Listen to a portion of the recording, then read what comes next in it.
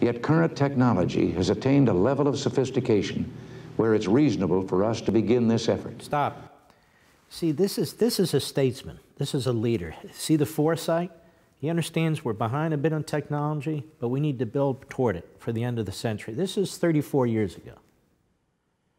It's thanks to him and his leadership and the resources that he demanded be applied to this that we have THAAD, that we have the Iron Dome, that we're able to test from Alaska an intercontinental ballistic missile hitting an intercontinental ballistic missile. Want to see more? Sign up for Levin TV.